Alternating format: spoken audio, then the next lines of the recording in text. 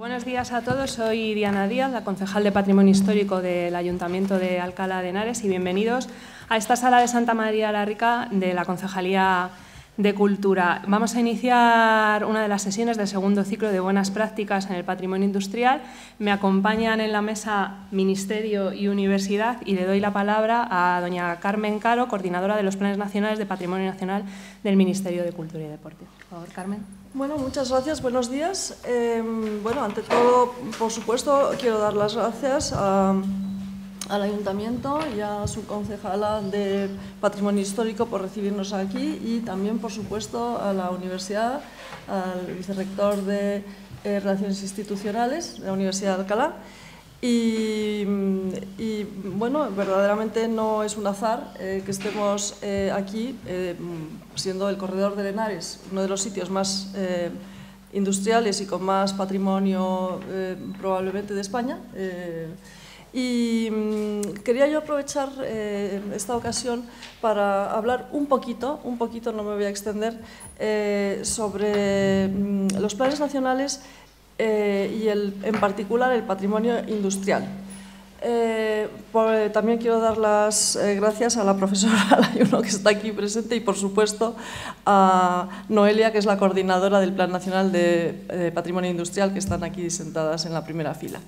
Eh, quería yo hacer una breve referencia a, dos mm, elementos. En primer lugar, el patrimonio industrial eh, dentro de lo que es eh, la norma que nos rige fundamentalmente al, Ministerio de Cultura, que es la Ley de Patrimonio Histórico Español. es una ley que ya tiene mm, muchos años, desde el año 85, y en ella eh, que en su momento fue una ley eh, muy innovadora, eh, recogía muchas formas de patrimonio, realmente era necesaria puesto que vivíamos pues, con referencias en las normas mm, eh, muy dispersas. Eh, eh, por un lado teníamos el patrimonio de la arquitectura defensiva, por otro lado teníamos lo que llamábamos el patrimonio histórico, que era lo que realmente tenemos asociado al patrimonio monumental, las catedrales, los grandes palacios, las grandes abadías, los grandes monasterios y conventos. en esa ley eh, no están recogidas algunas nuevas formas eh, de patrimonio que desde ese año hasta hoy el conjunto de los españoles hemos considerado ya como verdaderas formas de patrimonio, las tenemos perfectamente asumidas y las defendemos como tal. Eh, me estoy refiriendo, desde luego, al patrimonio industrial, me estoy refiriendo también al patrimonio inmaterial o pues al paisaje cultural, eh, a la arqueología, al, patrimonio eh, subacuático. Eh, entonces, con la evolución del tiempo y unas veces debido a pues unos em, fenómenos o unas situaciones de emergencia en las que nos hemos visto, como puede ser, por ejemplo, pues el intento de saqueo y expolio de los pecios submarinos, pues ha habido que reaccionar. Eh, y entonces nos hemos dado cuenta de que esa ley eh, está carente de pues, bastantes eh, elementos del patrimonio que no están protegidos y que sin embargo todos los españoles ya lo consideramos como tal. entonces, ¿qué ha hecho el Ministerio poco a poco y, mm, para abordar este problema? Pues mm, se han desarrollado eh, lo que se denominan los planes nacionales de patrimonio eh, cultural. Eh, en este momento son 14, 14 que incluyen, desde luego, las antiguas formas de patrimonio que hemos mencionado, las catedrales, las abadías, los monasterios y los conventos, la arquitectura defensiva, pero se han incorporado las formas nuevas de patrimonio que veníamos mencionando. Entonces, eh, se han desarrollado esos planes pues, que hemos mencionado también, inmaterial, paisaje, eh, industrial, y luego hay otros planes que son los que vienen de alguna manera a ser lo que solemos denominar horizontales, porque en el fondo y en la forma dan apoyo al resto, pues son educación y patrimonio, fotografía, eh, investigación en conservación, emergencias y gestión de riesgos, Em, conservación preventiva, Bien, em, entonces, con esto lo único que quiero decir, y no me voy a extender demasiado con, ni más con lo de los planes nacionales, es que aunque eh, no están previsto en la ley, sí el Ministerio eh, lo aborda y eh, salvo que sean BIC, en realidad son, no son textos vinculantes los, los planes nacionales, pero sí han servido para concienciar aún más a la sociedad sobre eh, nuestras formas de patrimonio.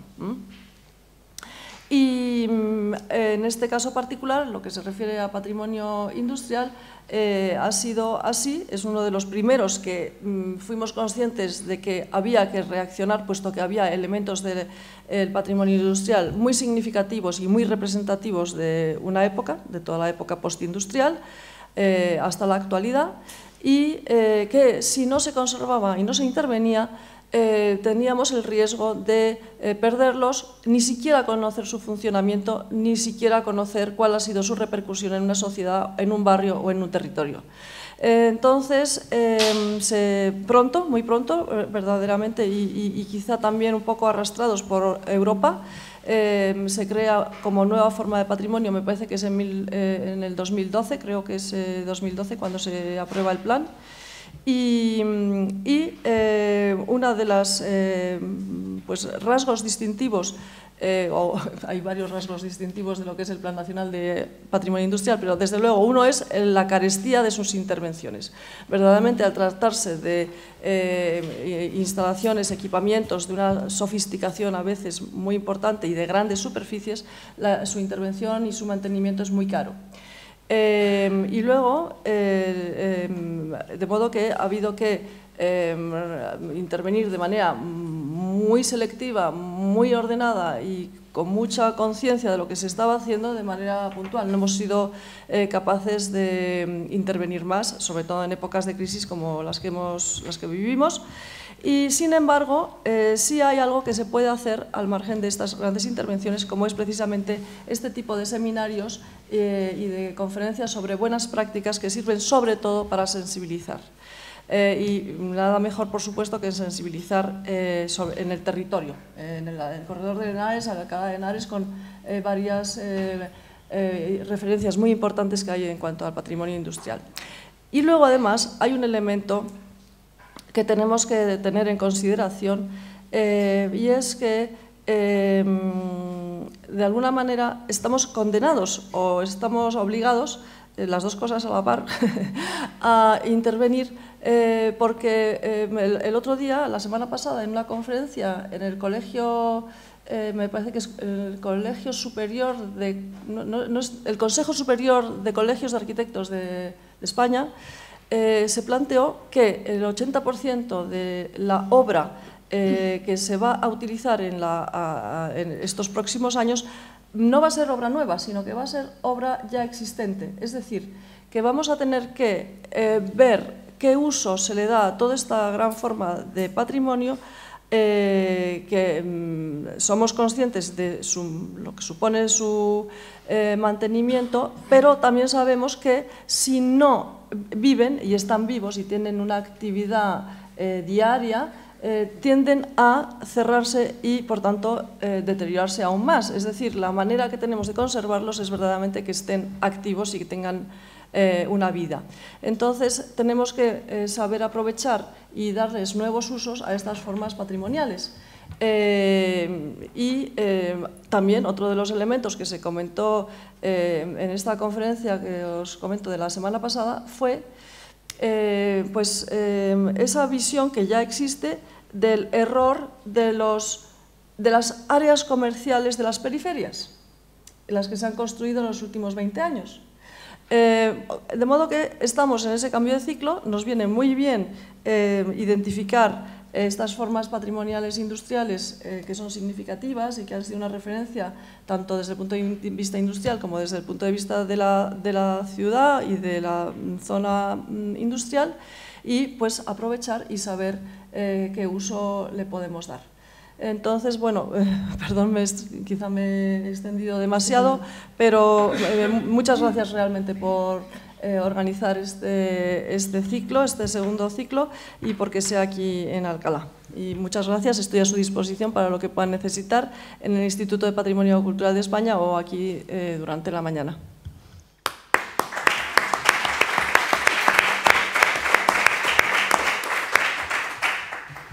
Bien, pues también me acompaña en la mesa el vicerrector del campus de Guadalajara y Relaciones Institucionales de la Universidad de Alcalá, el profesor doctor Carmelo García Pérez. Carmelo. Muchas gracias. Bueno, por parte de la universidad eh, me toca primero agradecer eh, la invitación a participar en, eh, en, este ciclo de conferencias de buenas prácticas en patrimonio industrial. un patrimonio mm, quizá del que hablamos demasiado poco, ¿no? En una ciudad que tiene un patrimonio tan rico, histórico, y que a veces nos olvidamos de, estas joyitas que tenemos y que conviene eh, pensar eh, y mantener porque eh, son un testimonio de nuestra historia. El corredor de Lenares es una zona rica en, este tipo de, de, industrias. Estoy pensando en la hispano-suiza, también en Guadalajara, ¿no?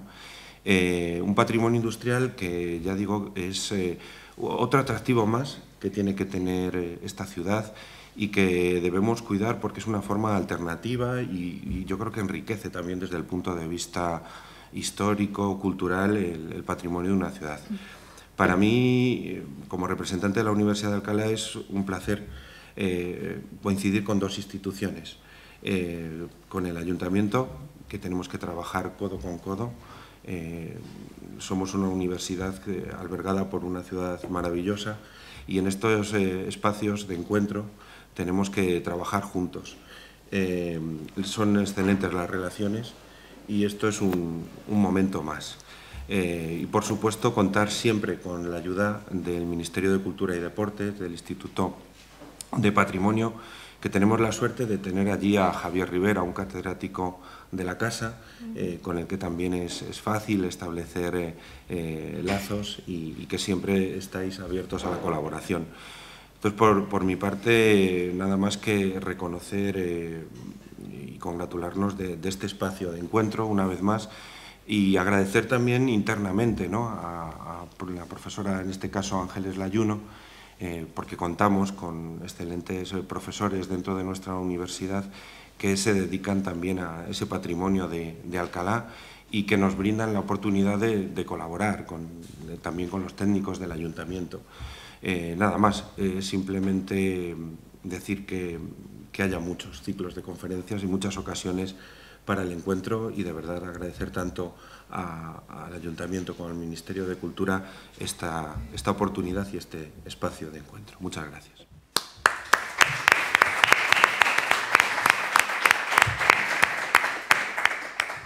Bueno, pues brevemente agradecer en nombre del Ayuntamiento a la profesora Dayuno, a Cristóbal, técnico de la casa, bueno, pues que hayan impulsado que esta jornada se celebre hoy aquí y que asistamos a foros donde nos damos cabida los gestores, los legisladores, los que tienen que ejecutar el conocimiento y los titulares de las propiedades, porque si no es imposible eh, generar buenas actuaciones que que difundan y, hagan buenas rehabilitaciones del patrimonio. Yo creo que en la mañana de hoy, me consta que habéis tenido otras conferencias en, en otros sitios, le comentaba a Noelia que había visto en internet la de Badajoz, que se ha celebrado hace poco.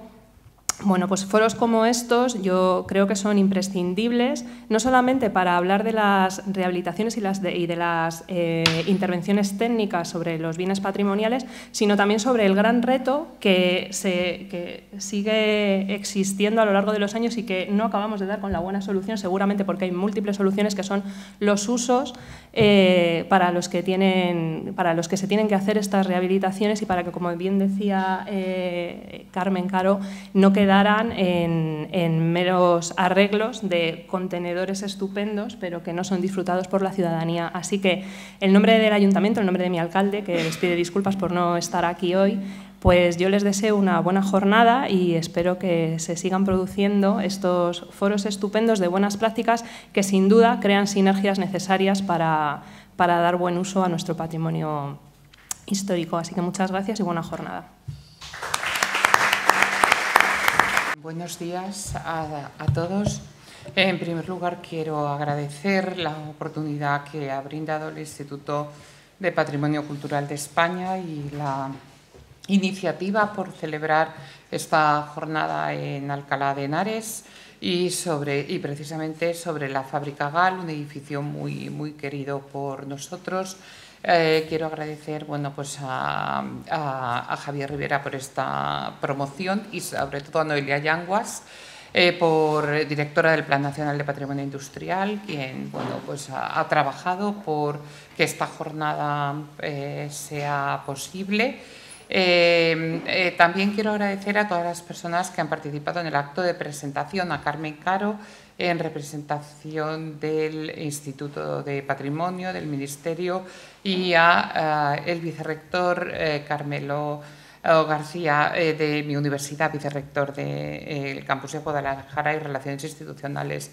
Un, un verdadero honor contar con vosotros y, y bueno, pues sentirme bueno, pues tan arropada en esta, eh, en esta jornada que es bastante especial, como digo, porque vamos a tratar sobre un edificio eh, que es muy eh, querido por eh, todos nosotros y que eh, nos ha unido al ayuntamiento y a la universidad en varias ocasiones como vamos a ver eh, posteriormente. También agradecer, por supuesto, a la concejala Diana Díaz su presencia y a Cristóbal Balonrat, quien ha colaborado también y ha hecho posible también estos días todas las eh, gestiones y preparaciones de, este acto.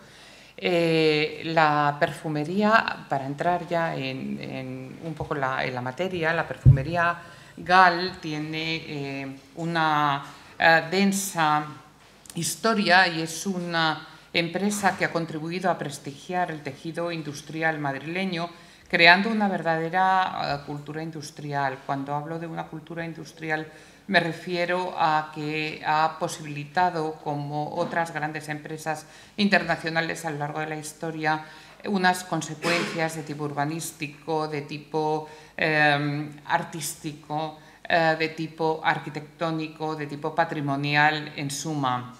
También eh, su trayectoria nos va a permitir eh, eh, contemplar cuáles han sido los diferentes criterios patrimoniales que se han desarrollado a, lo largo del tiempo.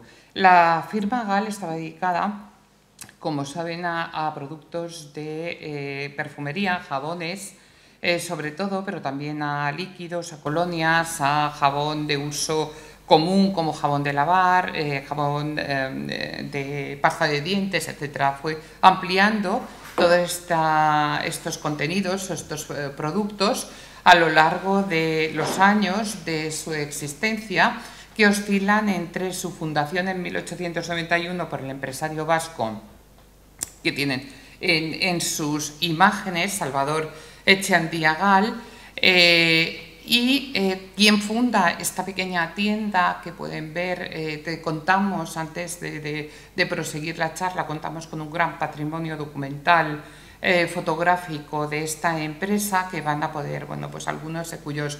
Em, eh, algunas de cuyas imágenes van a poder ver, ver en, esta, en, esta, en esta presentación eh, aparece la imagen de la tienda de la calle Arenal, donde se empezó a fabricar el famoso petróleo que saben que era para, para el pelo, ¿no? para una loción capilar para la pérdida del cabello. Esta es la segunda fábrica o la primera fábrica en que ante el éxito de, la, de, la, de los negocios eh, de Salvador Echandía, también hay que destacar que eh, por qué Salvador Echandía Gal emprende esta empresa esta empresa eh, se emprende precisamente para competir con los productos de perfumería extranjeros. ¿no? Él siempre hacía gala de su patriotismo, españolismo. Ese españolismo se puede ver, como van a ver a continuación, en la fábrica, en la primera gran fábrica, que es una gran fábrica monumental situada en Moncloa, inexistente, por supuesto, derribada, y también en el diseño de carteles y en la de carteles y en los prototipos de modelos femeninos que eh, van a, aparecer a lo largo de esa producción de diseño gráfico. También es de destacar eh, cómo esta sociedad eh, se forma en 1901 como una sociedad en comandita gal, no solamente por Salvador Echandía, sino también por sus socios capitalistas Lesmes Sainz de Vicuña, de la familia del arquitecto Manuel Sainz de Vicuña, que es el arquitecto que hará la fábrica que nos concita aquí, que es la fábrica de Alcalá de Henares, y otros socios son los primeros accionistas que fueron Rafael Picabé y Celestino Valet. ¿no? Desde 1921 eh, fue eh, sociedad anónima, ¿no? con el nombre ya de Perfumería Gal, que es como vamos a conocer a partir de ahora esta empresa. Bien, la primera gran... Eh, Salvador Echandía era un gran emprendedor que puso toda su fortuna realmente a, favor ¿no? de su empresa. Él creó el famoso jabón Eno de Pravia, fíjense, Eno de Pravia, también vinculado al carácter español de esas esencias que él encontró precisamente en Asturias, en un viaje en Asturias, y relacionó ese, ese olor de leno recién cortado con esta esencia que va a ser el producto estrella, va a ser el producto estrella. Y para quienes se dediquen a la investigación de los productos y la publicidad, tienen ahí un filón muy interesante, ¿no? Cómo va cambiando Incluso actualmente, Eno de Pravia, una vez desaparecida la empresa GAL como tal, se sigue fabricando, como saben, en México. No hay una concesión para que se fabrique en México. Bien, eh, como pueden ver en la imagen, en este plano de, em, de Fernando Cañada y en esta fotografía aérea, la primera gran fábrica se va a situar en el borde del ensanche urbano eh, y va a ser comenzado del barrio de, Chamberí, del barrio de Argüelles, y en un solar colindante, ustedes saben mejor que yo, en un solar colindante próximo a la cárcel modelo, donde también eh, tenemos constancia que en ese borde entonces periférico había otros establecimientos de tipo industrial, habría otras fábricas. Eh, el, emplazamiento eh, concreto es el Paseo de San Bernardino, la actual calle Isaac Peral, con vuelta a Fernández de los Ríos y a Hilarión Eslava. El edificio va a ir creciendo paulatinamente. Fíjense que eh, aquí tenemos una imagen de esta primera, de esta primera fábrica con esas vistas que asoman por encima se, concibe como, un hito eh, que capta las vistas del paisaje y que va a marcar profundamente el paisaje urbano de esta zona precisamente como una imagen de marca vinculado a la industria. El arquitecto es Amos Salvador Carreras. Amos, Salvador Carreras era, eh, es un arquitecto importante en esta etapa, era presidente de la, eh, de la Sociedad Central de Arquitectos en los años en que realiza el proyecto. El proyecto comienza en 1913 y finaliza en 1915 en su primera fase. Después habrá una ampliación en 1918 que ahora veremos. Eh, eh, Amos Salvador, como saben, era un arquitecto que tiene mucho que ver con el lenguaje de la fábrica, eh, que mm, se decantó en un momento de debates entre la renovación de la arquitectura española o, la mm, renovación a partir de los estilos del pasado, él defendía el casticismo, los estilos nacionales, que la renovación debería de partir por una arquitectura neomudéjar, que realmente es una arquitectura ecléctica, que es una arquitectura de ladrillos, que es una arquitectura muy vinculada realmente a lo constructivo,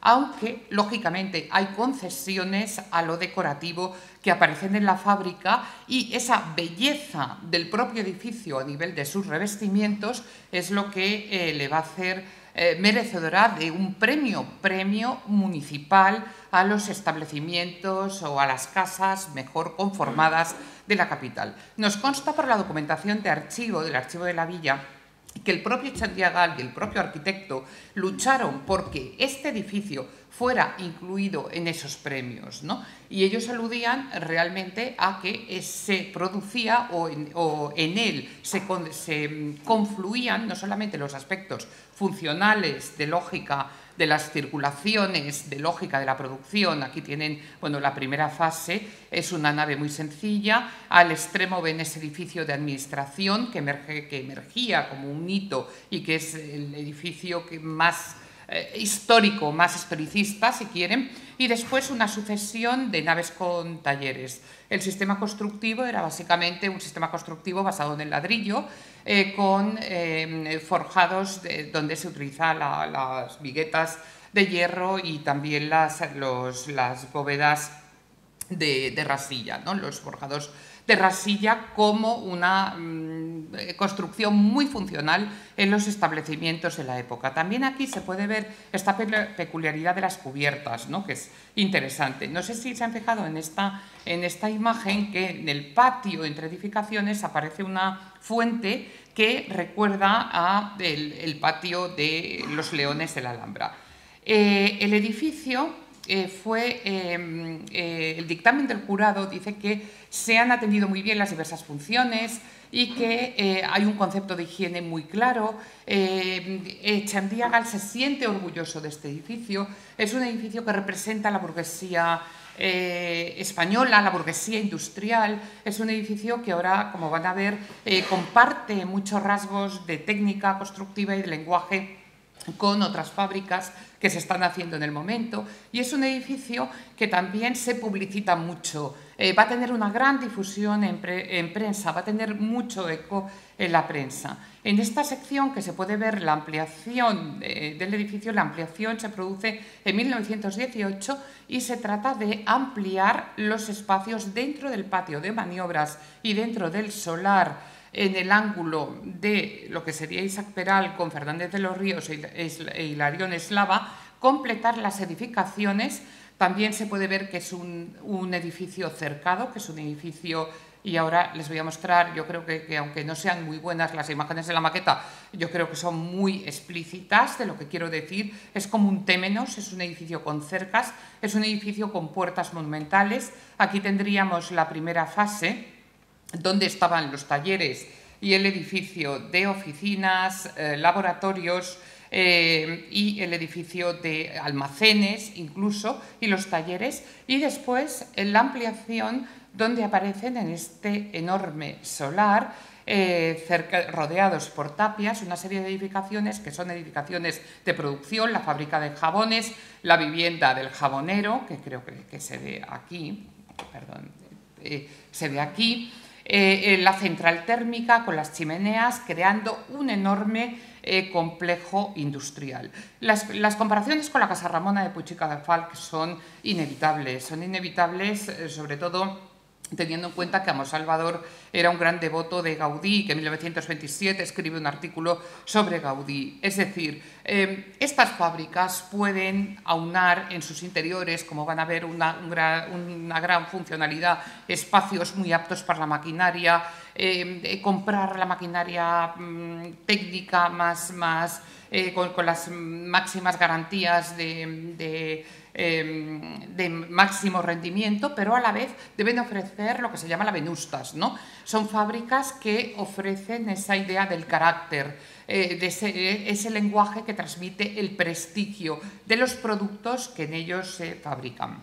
Y esta combinación eh, pronto del hormigón con el ladrillo aparece en toda la arquitectura industrial de su época. No, vamos a hacer ahora un examen ¿no? de, esta o, un análisis muy pormenorizado, pero también en Madrid la fábrica de cervezas El Águila o el matadero de Luis Bellido estarían en esta, en esta conjunción de eh, simbiosis entre una modernidad técnico-constructiva y también un carácter de ennoblecimiento y de dignidad de los edificios. Teodoro de Ansagasti, en el mismo año en que se concede el, el premio 1915 que se inaugura la fábrica GAL en un artículo eh, publicado en La Construcción Moderna, donde también eh, se había publicado la fábrica GAL, aludía, y hay muy pocos testimonios ¿no? de esta reflexión de los arquitectos sobre las modernas construcciones industriales, hay muy poca reflexión frente a lo que sucede en Europa, estaba aludiendo a esas dos vertientes, ¿no? al carácter tan artístico y quizá retrógrado de la, de la, construcción española industrial frente a esos logros técnicos del movimiento moderno. Es decir, que a nivel iconográfico la arquitectura española tampoco estaba ofreciendo los modelos que iban a alimentar la arquitectura de la modernidad, como sí decía Nasagasti, eh, y claramente haciendo alusión a, Peter Behrens, ¿no? a la fábrica de como hito. Eh, la divulgación de la arquitectura. La arquitectura es una imagen de marca, si lo hemos estudiado, también es un medio de ventas. La arquitectura de la fábrica aparece en los, en los mm, empaquetados, en el papel de empaquetar, aparece en los membretes de las cartas, aparece en la revista Pompas de Jabón, que después vamos a ver. Es decir, también este orgullo del propio edificio, del prestigio del propio edificio, hace que sea un edificio, quizá el edificio más divulgado y más importante construido por Amos Salvador, por el arquitecto Amos Salvador, que como saben también fue un represaliado del franquismo porque participó, él también se, eh, fue político y estuvo vinculado al gobierno de Azaña, de Manuel Azaña, como su padre. También eh, la figura de Amos Salvador es muy interesante en el mundo de la arquitectura industrial porque gracias a su padre, Amos Salvador Rodríguez, eh, estaba, que fue presidente de Tabacalera, aparte de ostentar cargos políticos, gracias a su padre también consiguió varios encargos, entre ellos la reforma de la tabacalera, que se quemó también en, estos años, y también, por supuesto, eh, esa participación de Amos Salvador ¿no? en las altas esferas de la sociedad madrileña también le pondría en contacto con los Echeandiagal, por supuesto. Eh, es decir, encargo importante y una fábrica muy importante que aparece en Mundo Gráfico. La revista Mundo Gráfico es un soporte de la publicidad de Gal, la construcción moderna, como hemos visto antes. En estos reportajes de mundo gráfico, por ejemplo, es muy interesante la lectura y son una fuente fundamental para conocer aspectos constructivos y de maquinaria que de otra manera sería imposible, ya que la fábrica, como diré después, se derribó en 1965. Por tanto, este reportaje donde se explica minuciosamente todo el ciclo productivo desde las calderas desde eh, las, naves de preparación de la materia prima, eh, las naves de procesado, de empaquetado, de troquelado, las máquinas, el carácter de estos espacios, la enfermería, ya que Gal siempre hacía mm, alarde de su política social, de pagas, de bonificaciones, de vacaciones pagadas, etc. Es decir, eh, siempre la fotografía de empresa legal, donde aparece esa relación entre trabajadores, entre espacios y entre máquinas, es una relación armónica, es una relación sublime, es una relación sin conflictos, ¿no? cuando de hecho, mm, por, también por alguna documentación que hemos encontrado en el AGA, parece ser que en torno a la guerra civil sí que se produjo algún conflicto laboral, ¿no? pero la política de Chandiagal era la fábrica eh, sin conflictos, ¿no? el espacio más sublime. Eh, revistas en las que no me puedo entretener, que es Pompas de Jabón. Pompas de Jabón es una revista editada por Gal, es, eh, digamos, como su órgano de difusión de su ideología dirigido a, a sus compradores, a sus proveedores y eh, lo que quiero señalar, bueno, el grafismo es muy interesante, se debe, em, entre otros, a Federico Rivas, ¿no? el director de la agencia de publicidad y de los talleres gráficos que tenía la propia empresa, pero fíjense, como eh, siempre encabezando tenemos la vista aérea de la fábrica de Moncloa. La vista aérea de la fábrica de Moncloa es un elemento pregnante, es un elemento muy significativo que acompaña toda la publicidad y toda la imagen corporativa y la imagen de marca de Gal. También otros anuncios que hemos presentado hace poco en una comunicación con Cristina Pereira en, el aula de patrimonio industrial, anuncios eh, que trascienden los límites de nuestras fronteras. Tenemos que decir que GAL no es una empresa nacional, es una empresa que se sitúa entre la cuarta y quinta a nivel internacional en cuanto a productos de perfumería. Es decir, es una empresa muy potente. ¿no? Aquí ven pues, esas imágenes de, las visitas reales, las visitas a las fábricas. Todo esto tiene una fotografía muy interesante, ¿no? las visitas de los reyes, eh, las visitas de los príncipes, las visitas de las mises, de personalidades, etc. ¿no? También aparece.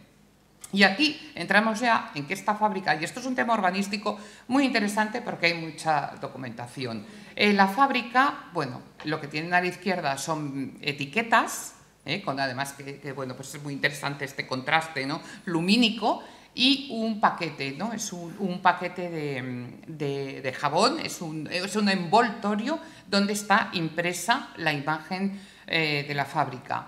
la fábrica estaba, como pueden haberse hecho una idea, en el frente de Moncloa, en el frente de guerra. Por tanto, recibió, como otros edificios industriales de ese momento, una, ah, bueno, pues eh, muchos desperfectos, ¿no? Cayeron obuses, también recibió el fuego artillero, es decir, sobre todo el edificio de administración fue un edificio muy dañado. Eh, esta imagen, que es el Instituto de Patrimonio, es interesante porque es el momento del momento en que parece que se está reclamando, por favor, eh, la fábrica envuelta ya en la bandera nacional y con esa bandera nacional en lo alto. Es decir, es el momento posterior a los, mm, a los desperfectos, a los daños, es el momento del vencimiento. ¿no? Así estaba la fábrica, tenemos el proyecto de Antonio de Mesa, y en este tema de la restauración es muy interesante y no les voy a aburrir cómo presiona el ayuntamiento le dice a Gal, le dice a, a Gal que restaure, pero que no van a obtener, que cuando él le pida, se llega a un acuerdo, la expropiación tiene que expropiar. Es decir, es el momento en que se empieza a presionar a determinados mm, edificios industriales para que muevan su localización para que muevan su localización. Y estamos en el año 40 y la presión urbanística no va a llegar a su culminación hasta los años 60. Pero ya en los años 40 las ordenanzas municipales eh, sobre los usos molestos, insalubres, están planteando, están planteando esa eh, presión sobre el movimiento de fábricas que están muy dispersas salvo los puntos de concentración en el sur-sureste, están muy dispersas aún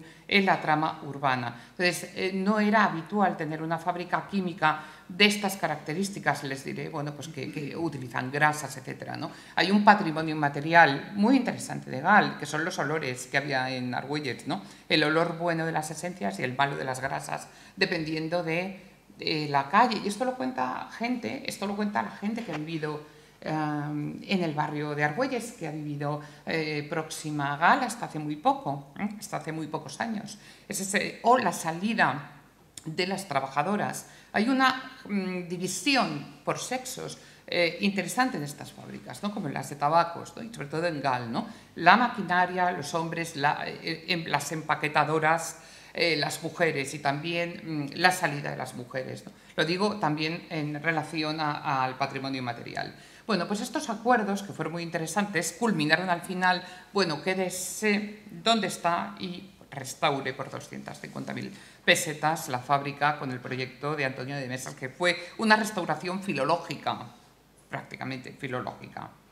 El cincuentenario del aniversario de Gal, con este catálogo muy conocido, eh, que es la memoria del cincuentenario. Es un acto de propaganda impresionante y de autorrepresentación, es decir, es la fábrica que se presenta eh, como constructora de un fragmento de la historia industrial de España. Y es el repaso a toda su historia anterior, el repaso, por supuesto, a su arquitectura, a su publicidad, las inversiones en publicidad, eh, la progresión en ventas, el catálogo no tiene desperdicio desde el punto de vista gráfico, es muy creativo, no he traído por supuesto todas las imágenes, pero merece la pena que lo vean. Son imágenes muy creativas que ya salen de los talleres gráficos instalados en la propia empresa, la, filial Veritas, ¿no? por ejemplo, la progresión de ventas. Y a pesar del parón de la guerra civil, ¿eh? ven que va, eh, bueno, pues viento en popa, ¿no? por decirlo um, de alguna manera. La publicidad, por supuesto, que ayudaba a esta progresión.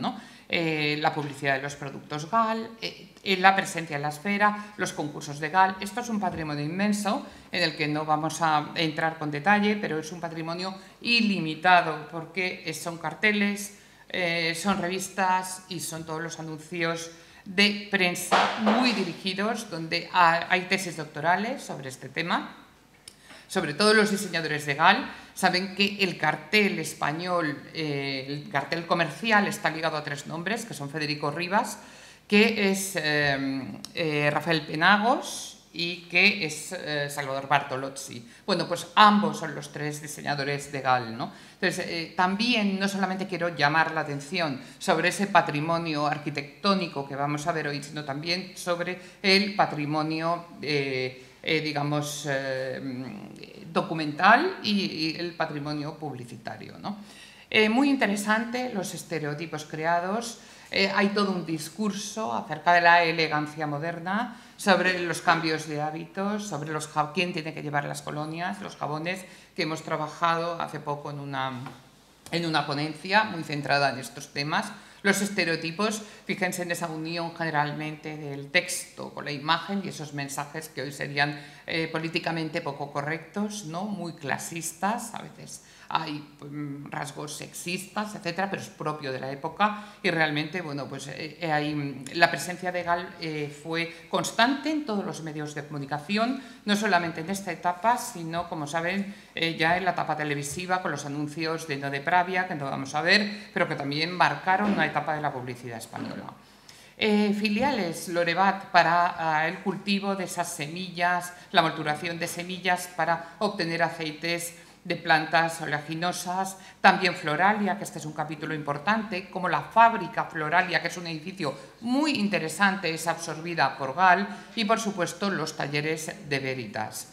Y el final, el final, este es el final, eh, el final es en 1965 y el final revela un momento que desde el punto de vista patrimonial no hay ninguna protección ni institucional ni por parte de la empresa privada ni por parte de las administraciones. Es decir, la propia empresa, ante la presión de nuevo del ayuntamiento y en este momento ante la presión urbanística, coincidiendo con la redacción y publicación del Plan General de Ordenación Urbana del año 63 y 64, que deslocaliza todas estas industrias de usos molestos, peligrosos o nocivos hacia la periferia sur y este, que ahora veremos eh, formando el corredor de Lenares, es cuando eh, crea una sociedad, eh, una sociedad anónima que se llama Perfumería Galesea, formada por Lorebat, y por Veritas y especula con sus terrenos. Es decir, vende sus terrenos y derriba la fábrica Premio Nacional de Arquitectura. Los años 60 y los años 70 son verdaderamente, y sobre todo los 60, los años 60 y casi a la par se produce otra desaparición de uno de los edificios, junto con el edificio Gal, más importante del patrimonio industrial madrileño, que era la antigua fábrica de la moneda de Francisco Jareño y Nicolás Mentivil, también por una operación de eh, modernización urbana, que estaba situado en la Plaza de Colón. Y todo esto, bueno, aquí ven lo que llamaría Pardo Abad los vacíos urbanos, que también luego nos van a aparecer en el corredor y en la propia Alcalá de Henares el vacío urbano, eh, también los derribos de lo que quedaba de la, fábrica. Un episodio anterior es como la poca arquitectura de la autarquía, la propia arquitectura mm, fascista, está enmascarando y se tiene que concebir así, ¿cómo va a enmascarar la fábrica? ¿Cómo le va a crear un telón? Un telón de clasicismo delante de, ese ladrillo, ¿no? como, como, como, se decía entonces, ¿no? el ladrillo rojo y la piedra es, mm, una, es un material noble. ¿no? Pues ¿cómo se iba a tapar esa fábrica, un edificio fabril, por esta solemnidad que vemos de los edificios que eh, proporcionaban esa entrada monumental por la Avenida de la Victoria. El vacío y la construcción de Puesto de Gal a Galaxia. Lo que se construye es el Centro Galaxia, un edificio muy polémico, un edificio eh, innovador, ¿no? que mezclaba ya locales comerciales con Estudio Lamela. Curiosamente, Estudio Lamela también en la Plaza de Colón. Debate en 1971, debate en el Colegio de Arquitectos de Madrid entre los partidarios del esponjamiento, de la modernización, eh, como el propio Antonio Lamela, o los partidarios, como Chueca Goitia, de el neomoderjar, como decía él, última o, la víctima de la piqueta madrileña. Es decir, había una cierta eh, alusión a algunos edificios que planteaban también esta versión en ladrillo. Pero, como les digo, es interesante todo este proceso por ver la evolución de los criterios patrimoniales, ¿no? desde hacia el patrimonio industrial en, nuestro país. Eh, el siguiente capítulo, eh, que, donde ya va a aparecer nuestra fábrica, arquitectura moderna, industrialización periférica, comienza con este, estos planes, y no les voy a aburrir con planificación urbana, que hay mucha que tiene que ver con esta, aparte del plan general, eh, que se aprueba en, 1963 y entra en vigor en el año 64. Eh, estas son las dos áreas en que se planifica esa expulsión de, la industria, esa deslocalización de la industria hacia su área metropolitana. Eh, también coincidiendo, y yo lo veo muy mal, con la ampliación del aeropuerto de Barajas, con la presencia de la base de Torrejón, formándose, en el caso que nos ocupa, el corredor de Lenares, que ven que es un conjunto pues, de Coslada, San Fernando, Torrejón, Alcalá de Henares, y entrando en lo que es hoy la comunidad de Castilla-La Mancha, de Azuqueca de Henares y llegando hasta Guadalajara. Eh, eh, estos pequeños núcleos que eran asentamientos agrícolas que, que sufren un proceso de transformación brutal, ¿no? y siguiendo pues, estos ejes de comunicación que siempre han sido muy estratégicos para la industria en este caso la carretera de Madrid a Barcelona y la línea de ferrocarril que discurre paralela. Estos dos ejes son los que eh, motivan, entre otras cuestiones, como el menor precio del suelo, como la topografía, la implantación de esta industria eh, masiva que va a ser la industria moderna, va a ser la industria del desarrollismo y, cuando digo la industria moderna, también de la arquitectura, del movimiento moderno.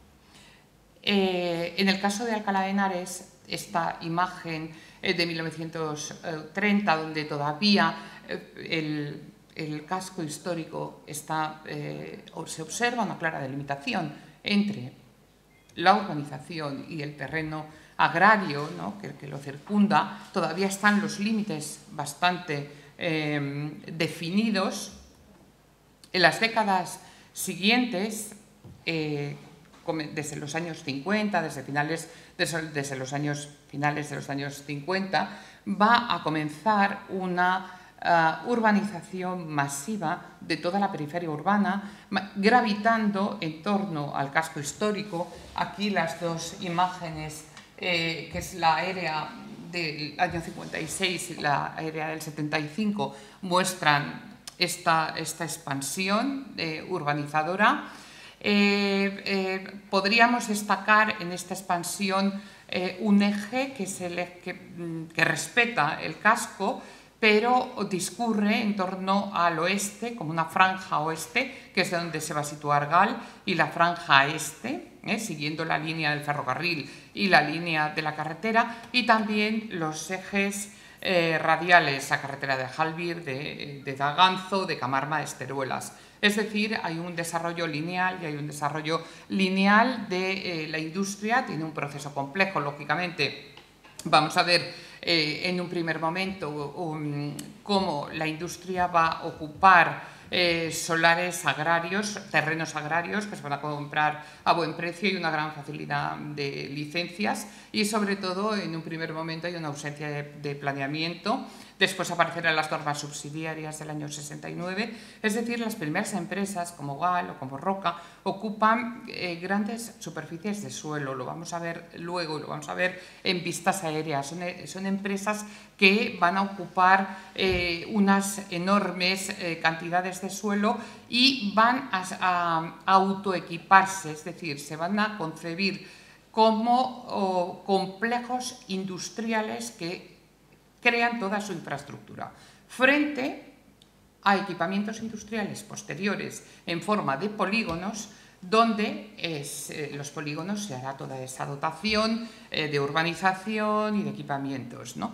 a partir del año 1975. Bueno, estas industrias también generaron impacto ambiental, como se ve en el Plan General de 1991, ¿no? que aparece esa una preocupación ¿no? por regular la implantación industrial, el impacto ambiental por regenerar, ¿no? que no ha parado hasta nuestros días, Pero mm, voy a desviarme un poco del tema urbanístico, que es muy interesante, es muy interesante, porque eh, este caos periférico, esta imagen del desarrollismo industrial como, como un espacio caótico, como un espacio de ocupación caótica, como un espacio de ocupación sin planificación, eh, donde los intersticios van apareciendo polígonos, van apareciendo promociones residenciales de muy baja de, baja renta, promociones privadas o promociones oficiales, pero eh, sin eh, infraestructura, sin equipamiento, sin servicios. Es un poco la imagen ¿no? de Alcalá industrial, de Alcalá que se transforma de una ciudad eh, conventual, de una ciudad muerta desde el siglo XIX en que se va la universidad, en una ciudad en que la prensa del momento recoge el progreso y el crecimiento. ¿no? Y lo ven como algo positivo y que puede ser el futuro de Alcalá. Coincide con la declaración de conjunto histórico-artístico de 1968, ¿no? ese contrapunto ¿no? entre esa ciudad más congelada, la ciudad histórica, y eh, esa periferia urbana. En estas eh, periferias eh, alcalaínas, ¿no? aparte, va a aparecer frente a otros lugares, aunque también pero de todos los eh, asentamientos, de todas las poblaciones del corredor de Lenares, Alcalá de Henares va a, concentrar, aunque es un momento, los años 60, en que la arquitectura va, a aparecer una arquitectura industrial importante en el área madrileña, ¿no? con eh, edificios de Miguel Fisac, de Alejandro de la Sota, de Rafael Leo, de Leuterio Población, algunos en Alcalá, de es un momento de auge y de eh, cualificación de la arquitectura industrial muy vinculada a los logros técnicos de la arquitectura de la modernidad, es decir, es un momento en que se puede plantear esa ah, arquitectura para la industria mm, ensayando soluciones que en otras eh, tipologías a lo mejor podrían eh, no parecer adecuadas. Es un momento interesante para las estructuras de hormigón. Eh, después aparecerán estructuras metálicas, pero sobre todo estructuras de hormigón. Si comparan con los informes de la construcción, donde se ven todo el Instituto Roja, en los años 40 y los años 50, ¿no? todos los estudios sobre el hormigón armado que eh, se desarrollan muy aplicados las estructuras del pretensado, premoldeado a edificios industriales que salvan grandes luces. Es un tema muy interesante y que está muy vinculado a los edificios industriales.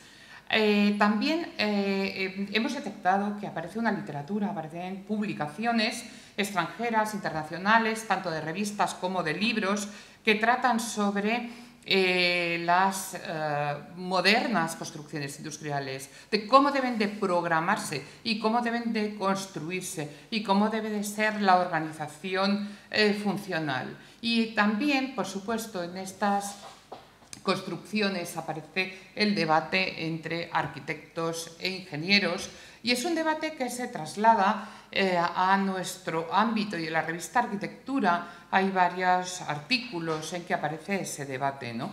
Eh, eh, desde el punto de vista de la planificación, está claro que hay una necesidad de colaboración, de hecho también en la, fábrica en la fábrica GAL, ¿no? se produce ese viaje, esa colaboración para ver la maquinaria y los espacios, ¿no? pero hay un reclamo por parte de los arquitectos de la plusvalía estética, si me permiten la palabra, la dignidad o la representación que debe de tener el edificio industrial. Es decir, el edificio industrial eh, tiene una dimensión o parte de dimensión eh, entendida como una imagen de marca que debe de eh, estar favorecida por una dignificación de la arquitectura o la intervención de un arquitecto eh, frente a eh, los ingenieros. Y ahí se produce, bueno, hay una literatura interesante. Bueno, la fábrica Fiesta, de Caramelos Fiesta, eh, voy a pasarlo muy rápidamente. después, como vamos a pasar por ahí, yo creo que es mejor mm, explicarla in situ o por lo menos al pasar, es uno de los hitos. Son fábricas modernas que están, están catalogadas en el registro de Ibérico, que están protegidas, son fábricas que muestran eh, toda la fragilidad posible que existe sobre los edificios periféricos modernos. Es decir, son edificios privados expuestos a, las ventas, eh, son edificios eh, que consumen mucho suelo, son edificios cuya valoración patrimonial, arquitectónica, no es compartida por toda la sociedad o por todos los responsables de las decisiones y, bueno, como la mayor parte de los presentes em, saben a lo que me refiero sobre esta fragilidad en el sentido eh, también de valoración de criterios, eh, bueno, pues está claro que, em, luego haremos como, como un alegato ¿no? en favor de esto. Es Roca, la fábrica que acaba de parar su producción o, reducir al mínimo su producción en la planta de Madrid. En el plano pueden ver los edificios que sí que están protegidos de José de Azpirot, que fue arquitecto municipal. Aquí los tienen. Es el edificio de oficinas y son los edificios, digamos, de prestigio ¿no? dentro de esta jerarquía. Los edificios de las viviendas del ingeniero jefe, etcétera, el edificio social y en la parte posterior también con esa ordenación en franjas paralelas que vamos a ver en la GAL, todo ese el edificio productivo, los talleres, que en este caso son tremendamente interesantes con esas terrechas de hormigón. Es decir, hay una parte em, eh, de valor puramente técnico técnico en, en, este sentido y esta marquesina de hormigón que tendremos después el gusto también de ver. ¿no? El complejo de la perfumería Gal eh, realmente ocupa un solar privilegiado. ¿no? Eh, se constituye como, roca, como un gran conjunto aislado, ¿eh? en medio de un tejido industrial que va muy periférico, agrario, rural, como vamos a ver, también desordenado, fragmentado, mm, muy fragmentado, ¿no? porque no, no, hay planificación, es un poco la oferta y la demanda en la búsqueda de esos terrenos. Y lo que tiene tanto Roca como Gal es su proximidad, como ven, al casco histórico. ¿no? Están en una situación privilegiada, consumiendo mucho suelo, pero en una situación privilegiada en cuanto a que están en, esa eh, casi juxtapuestos, ¿no? extramuros, pero casi juxtapuestos. El, el proyecto de Manuel Sánchez Vicuña no es un proyecto cerrado, eh, no es un proyecto único, es un proyecto en evolución continua, es un proyecto que surge de un viaje de, eh, aprendizaje con los técnicos, como se solía hacer en estos casos, un viaje de aprendizaje por, Alemania, por Francia, por Suiza, también acompañado de los químicos, el hermano de, de Gal, y esto lo digo como una, era el jefe de laboratorio, por lo menos en la etapa de en la etapa de Moncloa, eh, fue el primer doctor en química a la Universidad de Berlín, es decir, que estaba toda la familia como implicada en el negocio. ¿no?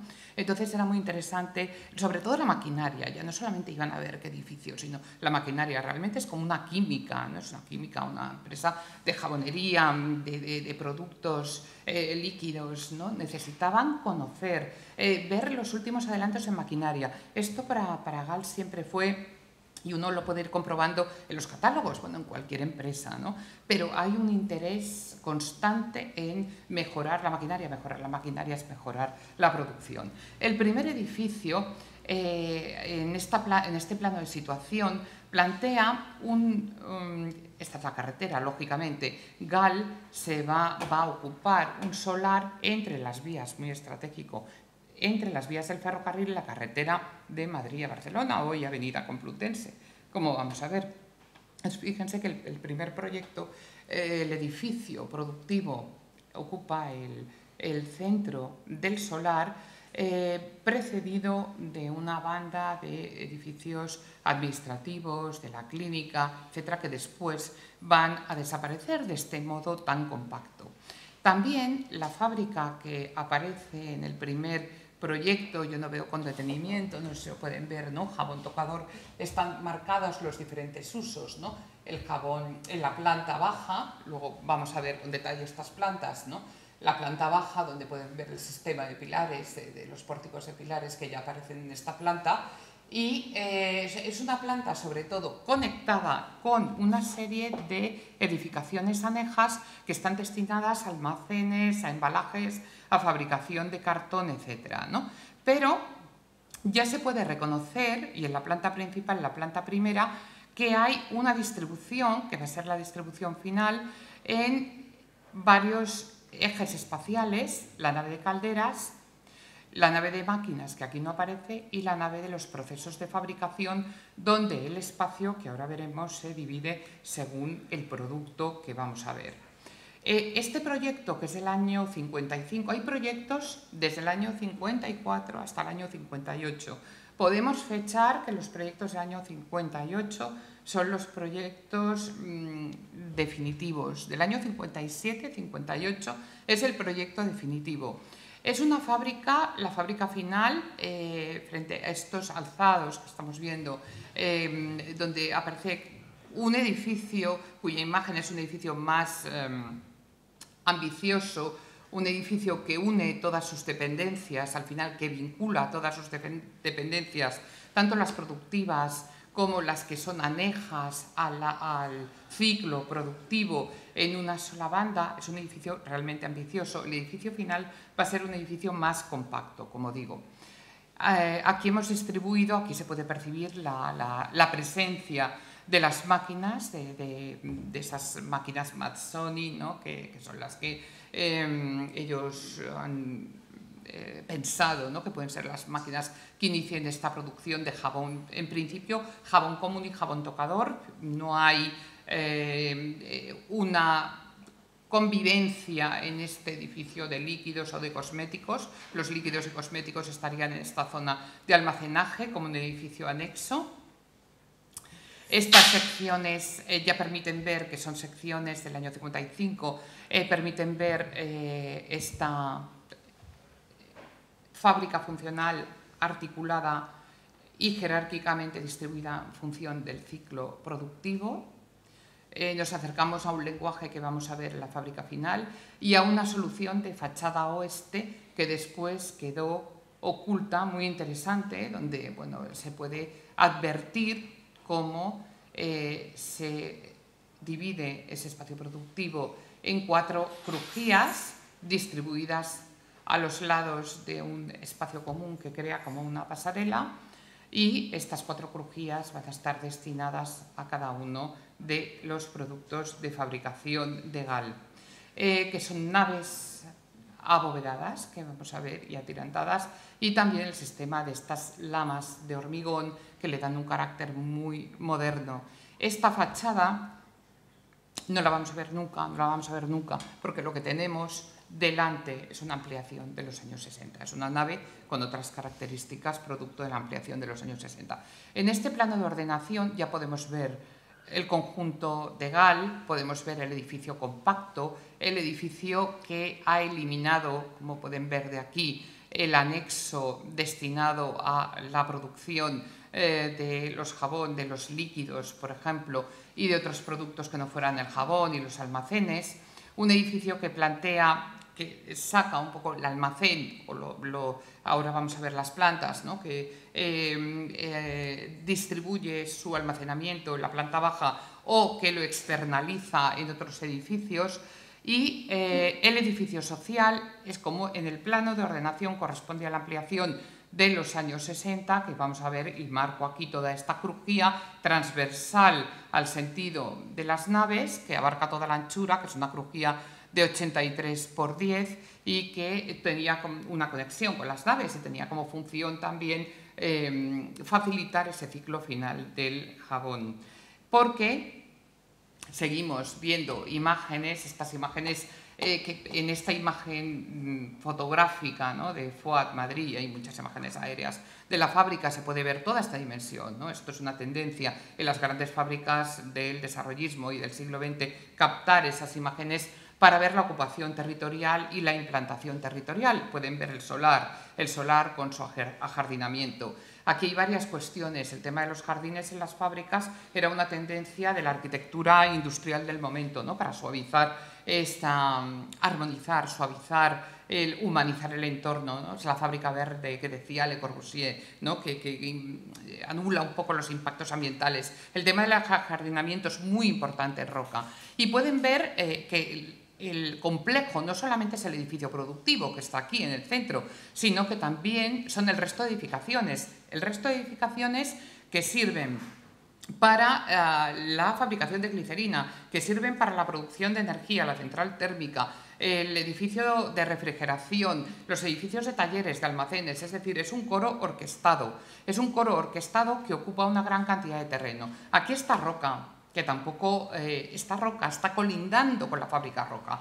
Y después está el casco histórico, ¿no? Pueden ver ahí esta justaposición de fábricas eh, que están gravitando en torno al centro. Contamos con la maqueta que nos permite entender el edificio con sus campos deportivos. También el paternalismo industrial. La fábrica, incidir en ello, es el marco de la vida social, es el marco de la vida del trabajador. Estamos en las fábricas franquistas, donde el trabajador se forma en la fábrica, participa en la recreación, en, las funciones recreativas.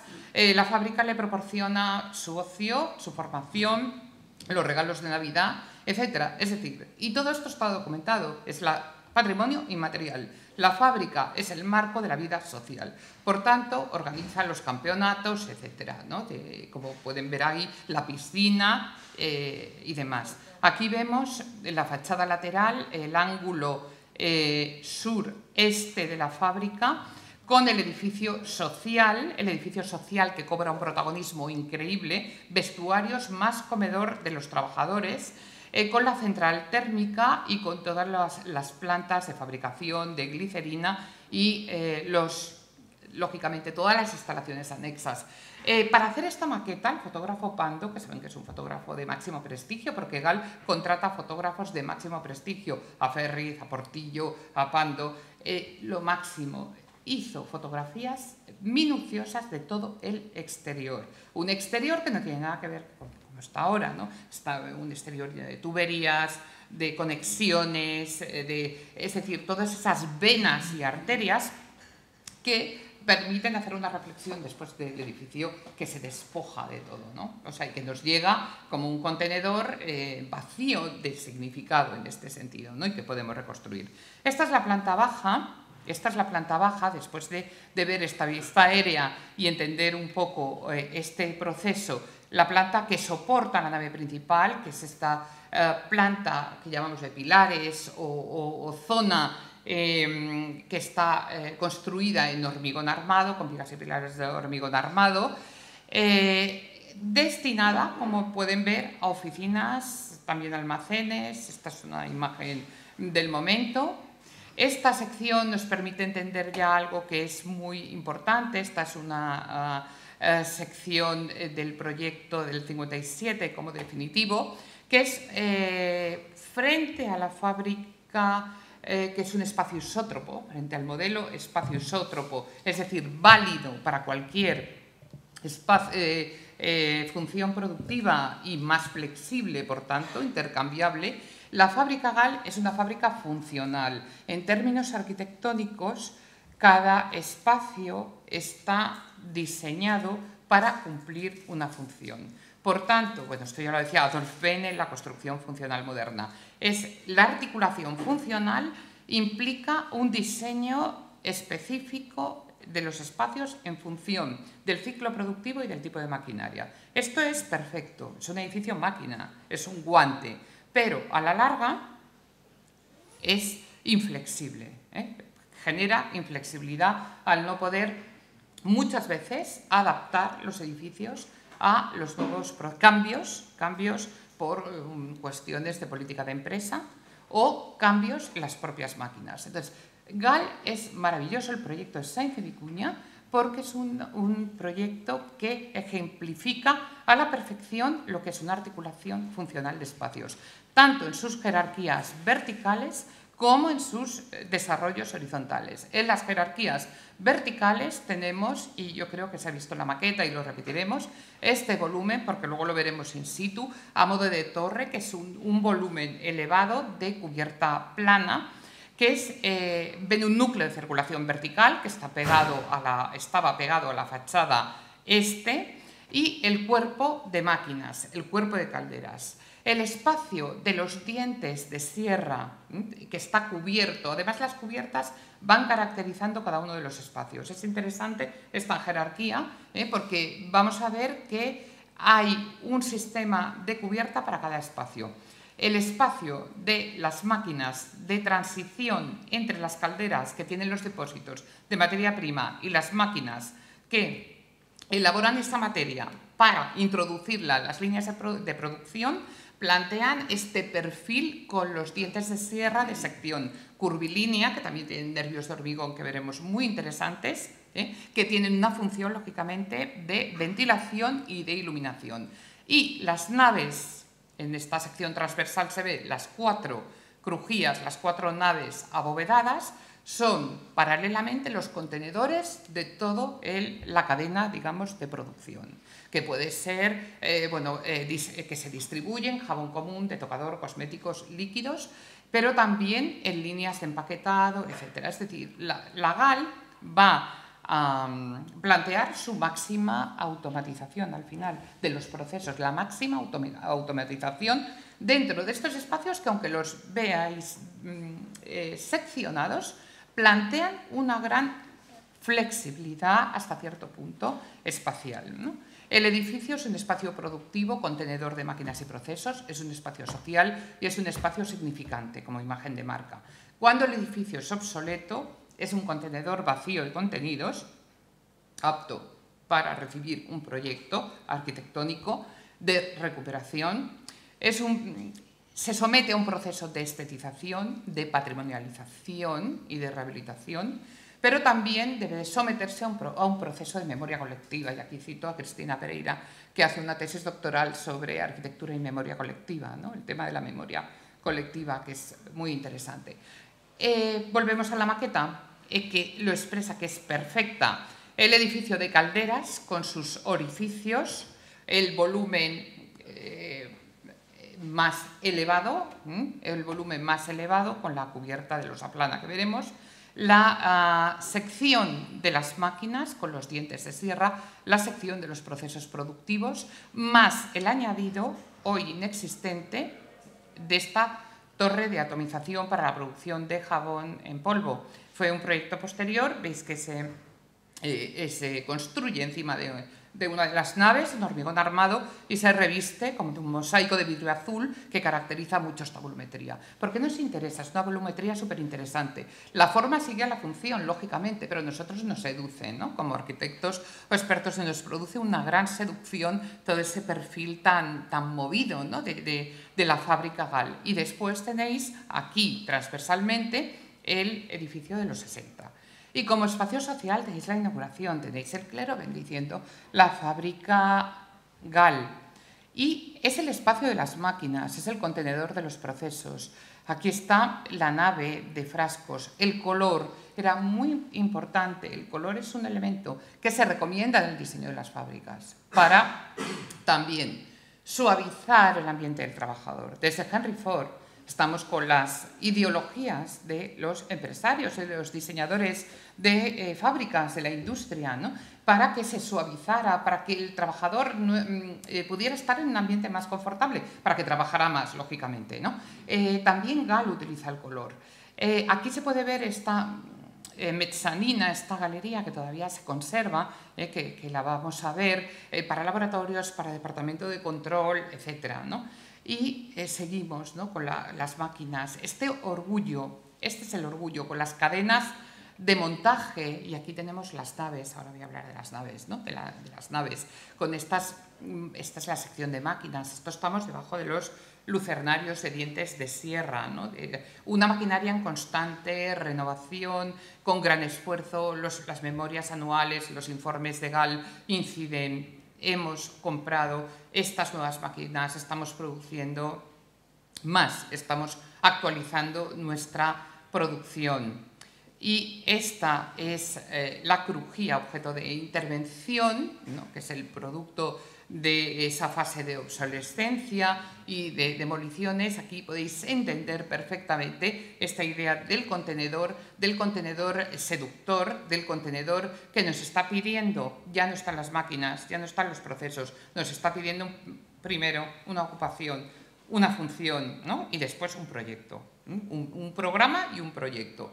Y vemos estas, tres, o por lo menos dos espacios eh, las naves de hormigón atirantadas con los tirantes, perdón, las bóvedas de hormigón con los tirantes vistos eh, y después eh, cómo aparecen también los, los, dientes de sierra con toda esta em, estructura modular de hormigón armado, sin duda por la carencia de material de el aprovechamiento del hormigón ¿no? en, la, época del posfranquismo, ¿no? hasta los años 60 o 70, que aparecieron otras estructuras. Eh, las costillas ¿no? de estos dientes de sierra y estos perfiles con esta contraposición entre, la entre los huecos, los huecos de carpintería metálica originales ¿no? y con estos vidrios que son realmente eh, maravillosos ¿no? y que provocan un efecto catedralicio muy interesante, estéticamente muy interesante. Eh, esta combinación, bueno, que no sé, ya no veremos, pero me imagino que ya no vamos a ver, pero, pero esa fábrica mixta que utiliza Manuel Sainz de Vicuña, ¿no? con las viguetas metálicas y las bovedillas de, rasilla, en algunos puntos también por motivos de economía. Eh, esta es la torre de las calderas, este es el espacio alto, el espacio que está en un nivel superior y que está incomunicado, en principio, incomunicado, pero no incomunicado a nivel de conductos, ahora sí, ¿eh? pero antes no. Y estos son los grandes tanques de las eh, alcoholes, grasas, etcétera, esas son las materias primas. Por tanto, el ciclo productivo va de derecha a izquierda y de arriba hacia abajo. ¿eh? De izquierda a derecha y de arriba hacia abajo.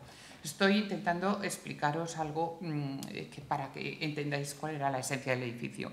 Esta foto maravillosa también, porque como veis, esta, ah, bueno, pues el sistema de ventilación ¿no? implica esta losa horizontal eh, que apoya sobre este doble pórtico, pues está perforada por ventilación. Todo lo que vemos tiene un sentido funcional. Climatización nula, nula.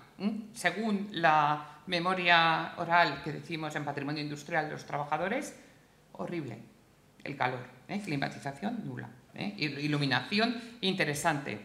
Además, como veis, el sistema modular reticular de la estructura de hormigón con los paños de ladrillo crea un efecto muy interesante en todos los edificios. Esta es la nave, este es el proyecto de nave que se añade y esto es eh, la coherencia del lenguaje de Saint de Vicuña en cualquiera de sus edificaciones, es decir, todas plantean el mismo sistema constructivo, el mismo sistema formal. Hay una coherencia del sistema constructivo y del sistema formal en edificios sociales, central térmica, la torre de refrigeración, etc. Eh, los fotógrafos. También esta es la fábrica es seductora. La fábrica eh, eh, por parte de los fotógrafos de la empresa va a ser continuamente reideada y fotografiada estas iconografías de la industria moderna, ¿no? del movimiento moderno, la fábrica de noche, la fábrica que se ilumina, ¿no? que es eh, tan, tan seductora también. La fábrica es el marco social ¿no? y también los eh, fotógrafos de la época captan estas instantáneas que hoy son un poco eh, curiosas ¿no? de los trabajadores bañándose, las trabajadoras mirando ¿no? o comiendo las, la cantidad de, banquetes ¿no? que, pagaba la empresa y de, premios que concedía, etc. ¿no? Y las visitas, por supuesto, ¿no? de mm, eh, personajes. ¿no? Eh, siempre. Eh, Gal, estamos en el final, abrió un museo en 1998 de toda la producción que no he contado, todo ese patrimonio enorme, incluidas las maquetas, incluidas las imágenes. El Museo GAL, en la propia fábrica, en la propia fábrica que vamos a ver hoy, en la planta baja se abrió este museo que se cerró y era un museo que tenía además éxito de público y de crítica, ¿no? porque se publicaban reportajes en las revistas. Bueno, pues este museo se cerró cuando se cerró la fábrica en 2004. El final eh, de Gal, y lo va a contar Cristóbal, eh, solamente voy a hacer una alusión, es el, el final ¿no? que está unido a los procesos de transformación urbanística. ¿no? Y esas relaciones entre procesos de transformación urbana, procesos de desindustrialización y valoración patrimonial nos interesa y es lo que nos ha llevado siempre a investigar estas fábricas. Por tanto, la propia empresa bueno, fue absorbida por el grupo Puig, Antonio Puig, eh, luego haré una, una mención. Eh, y eh, que fue accionista de GAL, es también un grupo de perfumería más potente económicamente que GAL, porque fue el final de GAL, bueno, hay muchas teorías y además hay personas que han venido que trabajaban en, en, GAL y a lo mejor podrían decir algo. No hay nada concreto, pero eh, los cambios en todos los sistemas, ¿no? la reconversión industrial, y no voy a entrar en detalles, ¿no? nos hace, hacen que determinadas empresas puedan sobrevivir y otras no puedan sobrevivir. ¿no? Y GAL eh, se marchó a la Garena, los nuevos polígonos industriales, nuevos polígonos modernos de, tecnológicos como la Garena o el Parque Científico Tecnológico la Universidad, y aquí tuvo su fábrica hasta el final.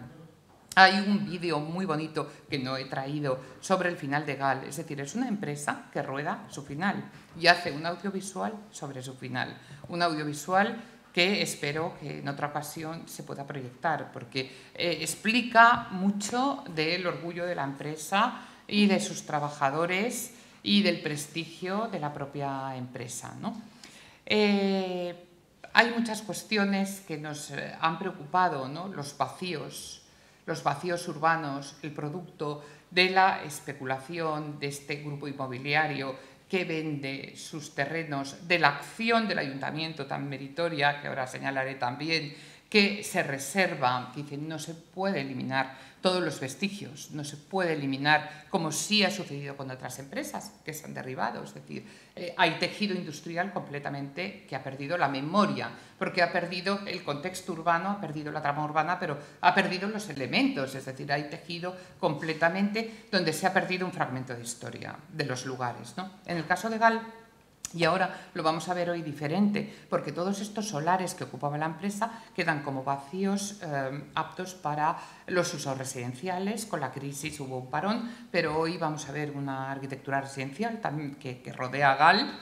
Eh, vamos a ver un hotel, un centro comercial y vamos a ver eh, la, la, crujía y la primera fachada de la fábrica ya destinada a usos, mm, a usos culturales y defendida por el Ayuntamiento eh, de Alcalá. Eh, esta es la imagen, digamos, que, cierra el proyecto que va a explicar Cristóbal, eh, la fábrica, que es objeto del vandalismo, de la ocupación, pero que, bueno, em, va a iniciar un proceso de rehabilitación con proyectos, algunos ejecutados, otros fallidos y finalmente, y por suerte, ejecutados, como vamos a ver hoy. Buenas prácticas, como resumen, desde el ayuntamiento, que es el propietario, por la protección legal, por la salvaguarda, por la restauración y rehabilitación. A pesar de las mutilaciones o demoliciones, se conserva su integridad porque conserva su autenticidad, su identidad formal y los aspectos técnico-constructivos, históricos. Eh, porque la transformación urbana se hace incluyendo los fragmentos de la industria, y esto es interesante, ¿no? hacer planeamiento em, incluyendo tejidos o incluyendo elementos de la industria y la recuperación para la comunidad, me parece muy interesante, que se haya recuperado finalmente para la comunidad. Eh, por parte de la empresa Antonio Puig, eh, la empresa privada aquí tiene eh, fíjense cuántos interlocutores. Eh, también es propietaria de las colecciones, del archivo de GAL. Y esto es muy importante porque desaparecen los archivos, sobre todo estas fábricas modernas que se tiran realmente, eh, se derriba la fábrica y el archivo desaparece. Bueno, pues tenemos la enorme suerte de que esta empresa, junto con el legado de Mirurgia y su propio legado, está digitalizando y catalogando y también están presentes los miembros del archivo, las personas que lo están haciendo. ¿no? Sensibilidad hacia el legado GAL, em, la digitalización del archivo, junto a los fondos que les he comentado y la política de préstamos, la política de divulgación. ¿no? Y desde la universidad y por la parte que me toca desde la docencia de la asignatura de Patrimonio Industrial, estas visitas em, eh, continuas, eh, propuestas y estudios de mis alumnos eh, que participaron en la exposición Alcalá como modelo, nuestro proyecto Arquitectura y Paisaje Urbano de la Industria en la Periferia de Madrid, metodología para el estudio de los procesos diacrónicos de implantación, construcción, imagen, obsolescencia y conservación patrimonial. El caso de Alcalá de Henares, que se centró en GAL que, eh, y que tuvo, mm, la, eh, tuvimos la oportunidad de hacer una jornada en colaboración con el ayuntamiento. Eh, van a ver ahora unas imágenes eh, también un audiovisual en el que participó, um, participaron los un trabajador de GAL y que nos permitió reconstruir los procesos y también eh, publicaciones. ¿no? Eh, estaba muy mm, vinculado el proyecto a ese análisis de los procesos de implantación industrial caracterizados por la territorialidad, la relación entre ese desarrollo urbano y, los, y desindustrialización y los fenómenos de valoración patrimonial, y el objeto de estudio fueron las fábricas y los tejidos urbanos del desarrollismo franquista con sus prolongaciones y antecedentes. ¿no? Eh, complejos y edificios y el caso de estudio también más centrado fue la perfumería GAL. Este es el cartel que pusimos en la jornada, que abarcaba todos los bienes, que son muchos, y además el ayuntamiento tiene una, es propietario de los bienes más interesantes de Alcalá, la jornada, que tuvimos la suerte en aquel momento de poder, eh, porque no estaba en, obras, de celebrarla y hacer una visita también a nuestra fábrica GAL, ¿no? tan, tan querida. Eh, y estos son unos mm, fragmentos, ¿no? unos fotogramas del documental, donde bueno, eh, se entrevistó a esta persona, se le preguntó, jefe de producción, eh, sobre la política de la empresa. Nuestra idea era divulgar a la sociedad, hacer partícipe a la sociedad, poder localizar a los trabajadores de GAL, que los trabajadores nos contaran cosas, poder reconstruir el ciclo productivo, etc. Y aquí está José Vicente Pérez Palomar, que coordinó conmigo y está eh, siempre colaboración del ayuntamiento con la universidad, la presentación del libro patrimonio industrial en las periferias urbanas, con esa imagen también de eh, la fábrica GAL ¿no? y, la celebración del acto en el 2017 en nuestro Paraninfo. ¿no?